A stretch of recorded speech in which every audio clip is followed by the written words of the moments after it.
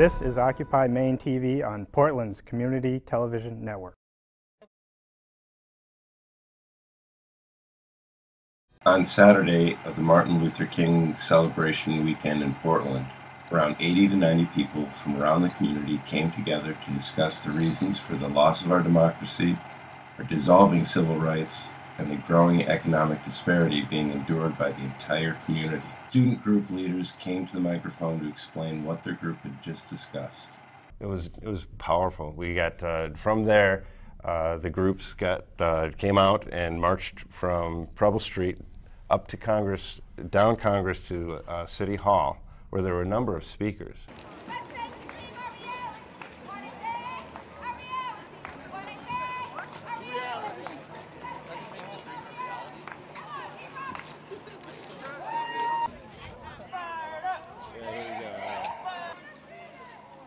People united will never be defeated. People united will never be defeated. The people united.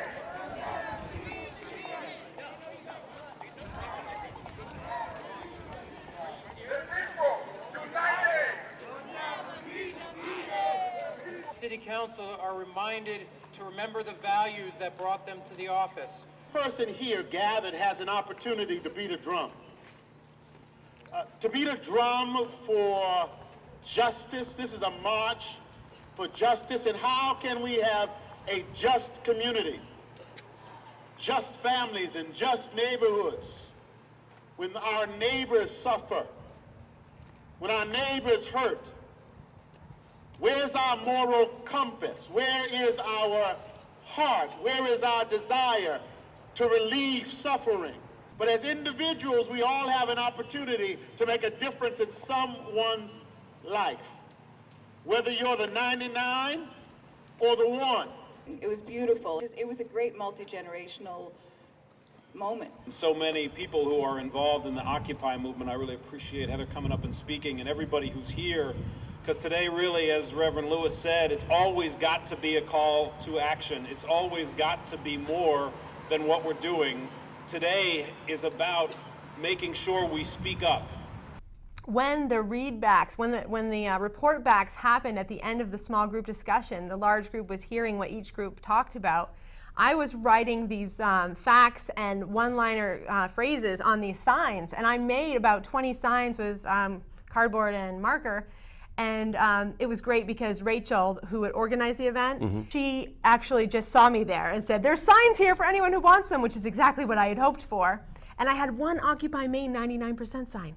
All right. Yeah, and that sign was taken by a woman um, I had never met before. She was African American, and she looked just overjoyed to have a beautiful 99% sign. So I was like, you know, cool, you know. Speaking about those signs, Rachel, what had struck me when, when everyone was marching down Congress Street, I noticed that there was a great deal of young people, people of all colors, uh, carrying our 99% signs. And it was the first time that I'd seen that. And, and you know, so many people that I hadn't recognized, the, the people in our, in our group of uh, Occupy Mainers, these were now like this is about hundred people carrying you know carrying our signs and but although it was for the Martin Luther King weekend, it was just fantastic to see them all together. that I only brought one 99% sign, Brian. And oh. that 99% sign, by the time we got all the way to City Hall, had grown into like 15 mm. Occupy signs that were 99%. And I was just amazed to see so many diverse people, young and old, holding these signs, Did you- owning the signs, Brian. They just loved them. Scooped Ni- them right up. nice metaphor for the movement that one person starts and it grows from there. On Monday, you were a part of a, an event. It was a breakfast, I believe. Yes, uh, they had the breakfast celebration at uh, Holiday Inn by the Bay, and um, the room was packed. It was a, I, I don't know the exact number of people, but it was a, a room that was filled. Emphasize enough that it was a really um, very full program, very well done. Uh, I mean, it was clear that a lot of people uh, had had put a lot of work into it. Um, it started with uh, children from the Portland Housing Authority uh, youth uh, coming in in a march uh, and singing a song that you know the crowd really reacted to favorably. Okay, well, in conclusion, uh, this weekend was, was fantastic, and there were a lot of different uh, people there. Can you tell us a little more uh, your your thoughts of the whole the, the whole event on Saturday? Well, Brian, as you know, it was bitter cold that day. Right.